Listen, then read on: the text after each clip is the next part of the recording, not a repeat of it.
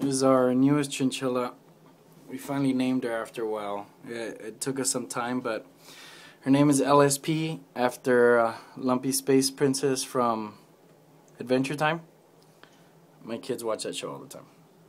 So, she's about two months.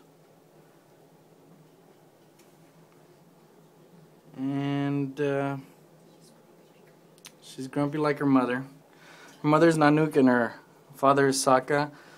We had actually separated them because we're not breeders, but before we separated them, unfortunately, unfortunately, she uh, was pregnant and we were able to have one.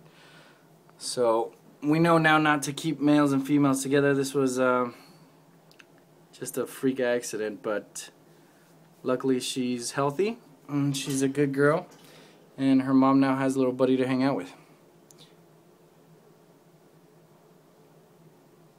As you can see she's just mean. Shy and scared and sitting next to her big mom. Say hi